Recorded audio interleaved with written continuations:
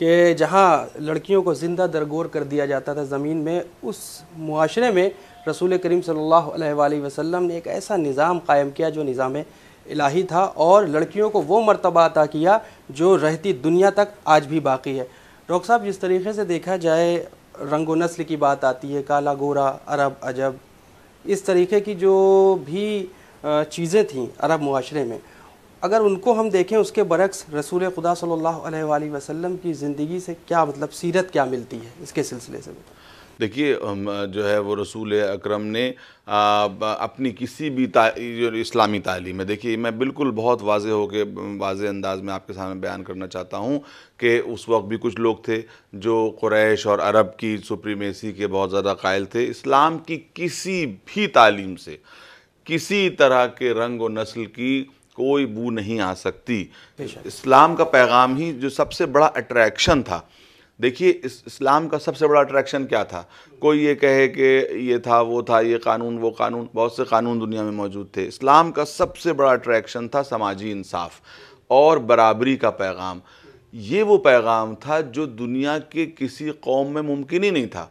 चाहे आप रोमन सल्तनत को देखते, ईरानी सल्तनत को देखते, हिंदुस्तान को देखते, कहीं को देखते, कदीम हिंदुस्तान में चाहे यहाँ वहाँ, हर जगह जो है वो ऊंच नीच का निज़ाम कायम था।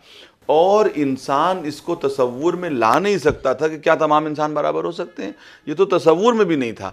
और यही वो पैगाम था जिससे सबसे पहले लोग आए। सबने उस पैगाम पे लब्बे कहा।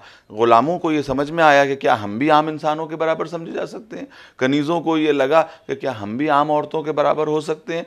तो इन लोगों ने सबसे पहले इस्लाम के पैगाम पे इसलिए लब्बैक कहा क्योंकि पैगंबर ने यह फरमाया कि सब बराबर हैं।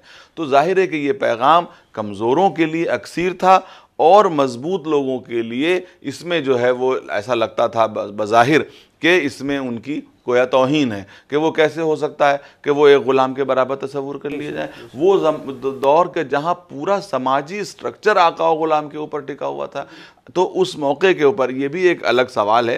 इन इसको भी हम थोड़ी देर में बात करेंगे कि फिर पैगंबर ने ग़ुलामी को कबूल क्यों किया इंडोर्स क्यों किया, उसको भी मैं अभी थोड़ी देर में वाजह करूँगा। लेकिन कम से कम पैगंबर ने यह बता दिया कि देखो, अल्लाह के सामने सब बराबर हैं। पैगाम इस्लाम के सामने सब बराबर हैं और उसका जो डिमॉन्स्ट्रेशन है, वो दिन में पाँच मरतबा नमाज़ में करके दिखाया कि देखो ये सफ़ें बिछ गई हैं एक जो है वो, जो है वो करशी खड़ा हुआ है, उसके बगल में अजमी खड़ा हुआ है, उसके बगल में ग़ुलाम खड़ा हुआ है, उसके बगल में जो है वो आला नसब खड़ा हुआ है, उसके बगल में जो है पस्त नसब खड़ा हुआ और सब उसके दरगाह में बराबर हैं, उसके सामने।